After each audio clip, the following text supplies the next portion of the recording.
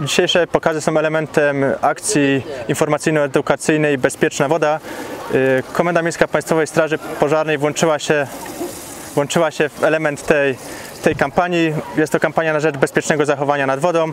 Dzisiaj propagowaliśmy zarówno bezpieczeństwo nad wodą, przypominaliśmy zasady pierwszej pomocy oraz y, pokazywaliśmy działania ratowniczo-gaśnicze na terenie y, zbiorników wodnych.